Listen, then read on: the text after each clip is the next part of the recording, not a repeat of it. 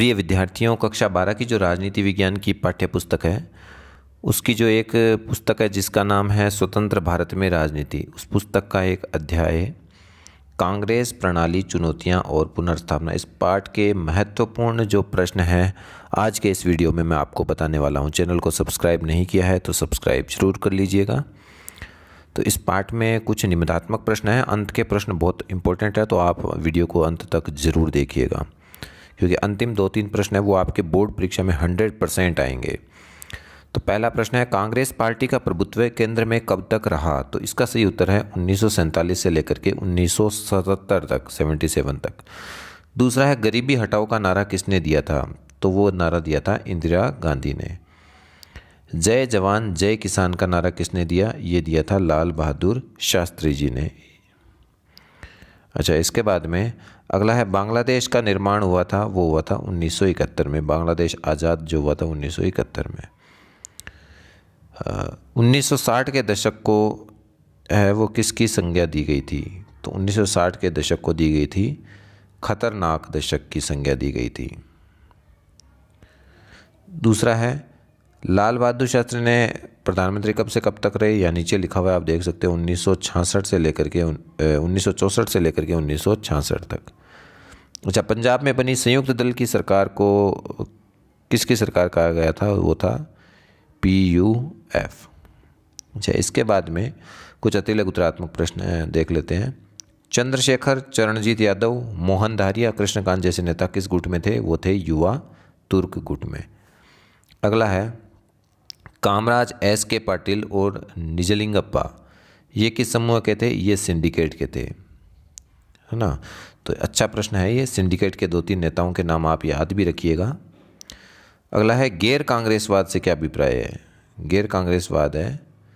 वो एक ऐसी राजनीतिक विचारधारा है जो मुख्यतः कांग्रेस विरोधी और उन्हें सत्ता से अलग करने के लिए समाजवादी नेता राम मनोहर लोहिया के द्वारा प्रस्तुत की गई है।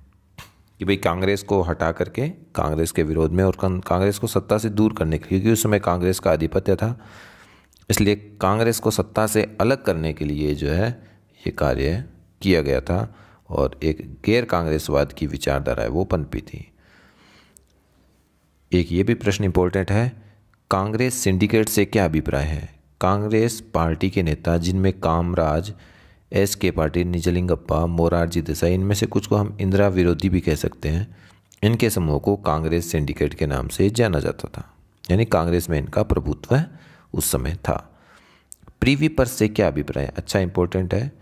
ये भी प्रश्न। भूतपूर्व देशी राजाओं को दिए जाने वाले विशेष भत्ते को, उनको पेंशन और विशेष प्रकार के भत्ते दिए जाते थे, उसको प्रीवी पर्स कहा जाता था।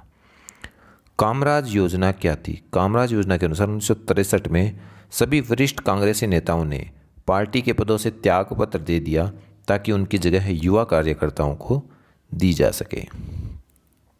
आयाराम गयाराम की राजनीति का मतलब क्या है? ये है दल बदल से संबंधित है। ये याद रखिएगा, आयाराम गयाराम से अभिप्राय नेताओं द्वारा अपने व्यक्तिगत स्वार्थ के लिए निरंतर दल बदल करना है। एक अच्छा प्रश्न ये भी है, दस सूत्री कार्यक्रम कब और क्यों लागू किया गया? तो दस सूत्री कार्यक्रम लागू किया था इंदिरा गांधी ने और उन्नीस सौ सड़सठ में। क्यों लागू किया? कांग्रेस की प्रतिष्ठा को पुनर्स्थापित करने के लिए। अगला प्रश्न है किंग मेकर किसे कहते हैं? किसी नेता को प्रधानमंत्री और मुख्यमंत्री बनाने में जो महत्वपूर्ण भूमिका निभाने वाले नेता होते हैं, उन्हें किंग मेकर कहा जाता है। उन्नीस सौ इकहत्तर के चुनाव में कांग्रेस पार्टी की जीत का क्या कारण था? वो था इंदिरा गांधी का चमत्कारिक नेतृत्व और कांग्रेस की समाजवादी नीतियाँ गरीबी हटाओं का नारा। ये सभी है कांग्रेस पार्टी की जीत का कारण था। अगला प्रश्न है, राम मनोहर लोहिया, ये कौन थे? तो ये समाजवादी नेता और विचारक थे, उन्नीस से सड़सठ तक है। लोकसभा के सदस्य भी रहे और गैर कांग्रेस कांग्रेसवाद के रणनीतिकार थे। उन्होंने नेहरू की नीतियों का विरोध किया। ताशकंद समझौते पर हस्ताक्षर करने वाले राष्ट्राध्यक्ष कौन कौन थे? तो ताशकंद, समझौता हुआ था भारत और पाकिस्तान के बीच। भारत के प्रधानमंत्री जो उस समय थे, लाल बहादुर शास्त्री और पाकिस्तान के पूर्व राष्ट्रपति मोहम्मद अयूब खान। कुछ लघुतरात्मक प्रश्न देख लेते हैं। उन्नीस छियासठ में कांग्रेस दल के वरिष्ठ नेताओं ने प्रधानमंत्री के पद के लिए श्रीमती गांधी जी का साथ क्यों दिया? कांग्रेस के वरिष्ठ नेताओं ने यह सोचकर, जो इंदिरा गांधी थी, उसका साथ दिया कि प्रधानमंत्री के पद पर पद के लिए इसलिए दिया ताकि प्रशासनिक और राजनीतिक मामलों में इंदिरा गांधी चूँकि नई थी, उनको अनुभव नहीं है। तो वो मुख्य रूप से जो कांग्रेस के वरिष्ठ नेता है, उन्हीं के दिशा निर्देशन में कार्य करेंगे, यानी कि इंदिरा गांधी उन बड़े बड़े नेताओं पर निर्भर रहेगी। तो ये सोचना था उस समय सिंडिकेट के लोगों का। उन्नीस सौ उनहत्तर में राष्ट्रपति के निर्वाचन में इंदिरा गांधी ने किस उम्मीदवार का साथ दिया था? तो वो दिया था निर्दलीय उम्मीदवार वीवी गिरी का। और जिससे कांग्रेस के अधिकृत उम्मीदवार नीलम, संजीव रेड्डी, वो चुनाव हार गए। और यह चुनाव श्री गांधी जी का, श्रीमती गांधी का कांग्रेस में वर्चस्व साबित करने में मील का पत्थर साबित हुआ था। अच्छा कांग्रेस की फूट डालो कांग्रेस की फूट के पश्चात दो राजनीतिक दल कौन कौन से आए थे? एक तो था कांग्रेस आर, कांग्रेस इक्विशंट और कांग्रेस ओ ऑर्गेनाइजेशन संगठन वाला। तो कांग्रेस आर का नेतृत्व है, वो इंदिरा गांधी कर रही थी और कांग्रेस ओ का नेतृत्व है, वो सिंडिकेट यानी कि निंजिगलिप्पा, निजगल निजलिगम्पा। तो ये जो है, वो सिंडिकेट का नेतृत्व है, यानी कांग्रेस ओ का नेतृत्व है, वो सिंडिकेट के द्वारा हो रहा था। और उस समय कांग्रेस आर जो थी, वो थी इंदिरा गांधी की। श्रीमती गांधी यहाँ लिखा हुआ है, इसका मतलब इंदिरा गांधी से आप ले हुए उन्नीस सौ उनहत्तर में कांग्रेस पार्टी के विभाजन के क्या कारण थे? उन्नीस सौ उनहत्तर में कांग्रेस पार्टी के विभाजन के प्रमुख कारणों का विस्तृत विवरण दीजिए। अच्छा इंपॉर्टेंट मोस्ट इंपॉर्टेंट प्रश्न है ये। इसको आप अच्छी तरह से याद कर लीजिएगा। बहुत ही महत्वपूर्ण प्रश्न बोर्ड परीक्षा में आने की हंड्रेड परसेंट गारंटी इन आगे वाले, आने वाले दो प्रश्नों में से एक प्रश्न की। तो कांग्रेस पार्टी के विभाजन के कारण क्या है? तो पहला है दक्षिणपंथी और वामपंथी विषय पर। कलह कांग्रेस के सदस्यों में इस बात पर मतभेद हो गया था कि वे वामपंथी दलों के साथ कर मिलकर लड़ें या दक्षिणपंथी दलों के साथ। तो ये पॉइंट आप नीचे लिखें। मेन पॉइंट जो है, वो सबसे पहले लिखेंगे।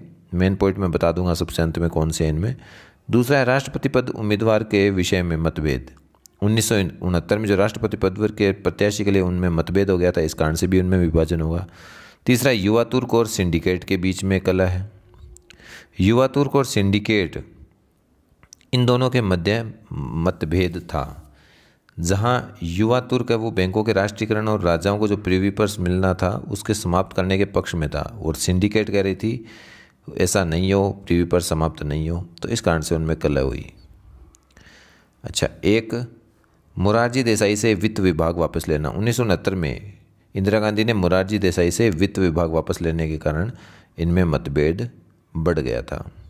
अगला है, सिंडिकेट द्वारा श्रीमती गांधी जी को पद से हटाने का प्रयास किया, परंतु वे इसमें सफल नहीं हो सकते।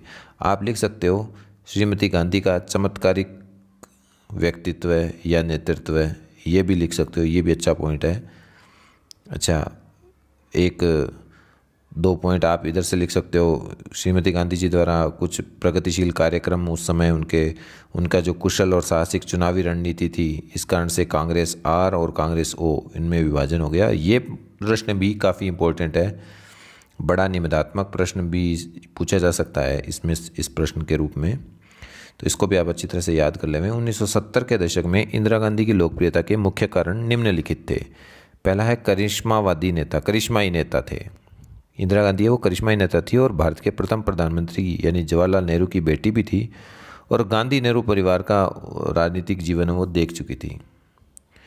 दूसरा है प्रगतिशील कार्यक्रमों की घोषणा। एक तो बीस सूत्री कार्यक्रम प्रस्तुत किया उन्होंने, बैंकों का राष्ट्रीयकरण किया, प्रीविपर्स को समाप्त कर दिया और वीवीगिरी जैसे मजदूर नेता को दल के घोषित प्रत्याशी के विरुद्ध चुनाव जिता करके उनकी लोकप्रियता को बढ़ावा देना। अगला है कुशल और साहसिक चुनावी रणनीति। इंदिरा गांधी ने एक साधारण से सत्ता संघर्ष को विचारधारात्मक संघर्ष में बदल दिया और उन्होंने वामपंथी नीतियों की घोषणा करके जनता को यह दर्शनाने में सफलता पाई कि कांग्रेस का सिंडिकेट दड़ा है। वो इन नीतियों के मार्ग में बाधाएँ हैं। इसलिए इंदिरा गांधी ने उस चुनाव में जीत हासिल की और चुनाव में बहुत अधिक लाभ उसको मिला। भूमि सुधार कानूनों का क्रियान्वयन। श्रीमती गांधी जी ने भूमि सुधार कार्य कानूनों के क्रियान्वयन के लिए ज़बरदस्त अभियान चलाया था और उन्होंने भू परिसीमन के कुछ और कानून बनाए जिनका प्रभाव चुनाव में उनके पक्ष में गया। चैनल को सब्सक्राइब कर लीजिएगा। धन्यवाद।